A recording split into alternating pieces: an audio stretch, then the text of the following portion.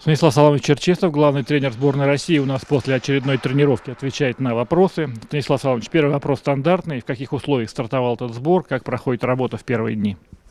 Ну, 22 футболиста сегодня, три вратаря были на поле. Ждем Миранчука и Черышева, которые играли вчера в своих клубах. Э, у них были поздние игры, поэтому они сегодня после обеда присоединятся к нам. Э, оба здоровы, э, оба, думаю, в хорошем настроении приедут, потому что и Миранчук забил, и Черышев выиграл у Мадрида. Так что а сегодня все в стандартном режиме. Кто-то играл вчера, кто-то позавчера. Так, общая тренировка восстановительного плана.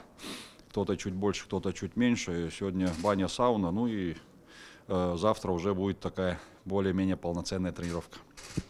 Вчера было объявлено об изменениях в составе сборной России. Как принималось это решение и насколько помог этому резервный список, который был объявлен после ну, официального, основного? Ну, мы уже говорили, что до этого мы резервный список не объявляли, э, потому что э, в нормальной э, жизни мы относились по нормально, как говорится. А сейчас из-за того, что и пандемия бушует, и, и травмы в это время есть, мы постарались объявить расширенный список, чтобы те, кто не попал пока в основной, чтобы хотя бы внутренне были готовы, что их могут дозавить. Видите, э, жизнь показала, что в этом плане мы были правы, потому что опять изменения по той или иной причине были. Логистика этого сбора предполагает разъездной характер. Какие-то особенности в плане подготовки есть в этом плане? Ну, естественно, мы заранее сидели, менеджмент слетал и в Турцию, и в Сербию, в Молдавию, посмотрели гостиницы, э, где мы будем жить, где тренироваться, э, как далеко расположены аэропорты. Ну, нет нюансов, тем более три игры подряд идут, и любой час, любые полчаса для восстановления, для правильного проведения времени важно, и поэтому мы постарались максимум все отработать. Э, РФС в этом плане идет навстречу, э, наши пожелания учитываются, поэтому э, здесь проблем нет. На этом сборе в команду влилась большая группа молодых футболистов. Вы и сами в свое время тоже, вот, будучи молодым, вливались в сборные. Как вы считаете, вот что для них главное на этом этапе? Ну, во-первых, они вчера у меня были, ну, Евгения вы Лесовой нет, потому что они позже приехали. Э, ну, и с ними сегодня переговорим. Они молодые футболисты, ну, раз сборную э, страны вызывают, значит, они уже достойны.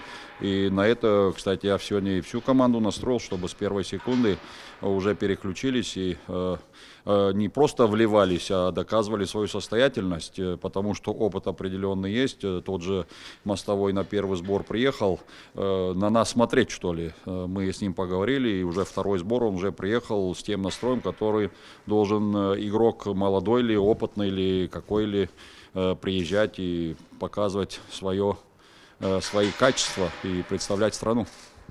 Помог ли октябрьский опыт проведения этого графика с тремя матчами вот, подготовиться лучше, может быть, к нынешнему? Вот, потому что график идентичен сейчас. Ну, естественно, он идентичен. Ну, тогда три игры были э, дома, без выездов. Сейчас у нас выезды. Понятно, определенные э, коорди, координированные вещи мы делаем, и медицинский штаб, и тренерский штаб анализируем. Понятно, что и 24 футболиста, кстати, вызвали, на пару футболистов больше из-за вот этих э, игр. Э, мы анализируем и надеемся, что э, тот сбор нам э, пошел ну, на пользу в том плане, что ну, опыт приобрели. Это не только нас касается, но у всех сборных, у всех было первый раз. У нас не было на предыдущем сборе несколько основных игроков. Сейчас мы уже вот потеряли тоже буквально несколько ведущих футболистов. Как-то в голове уже есть мысли, как компенсировать эти потери?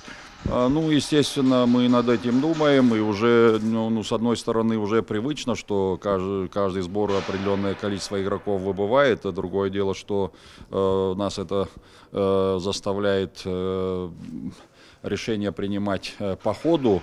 И, э, ну, естественно, мы над этим думаем вот эти пару дней, как нам... И самое главное, игрок-то может быть э, достойно играть, но не в том состоянии. Мы, нам сейчас важно состояние каждого игрока оценить и э, все три игры провести на том уровне, который нам позволит победно завершить их.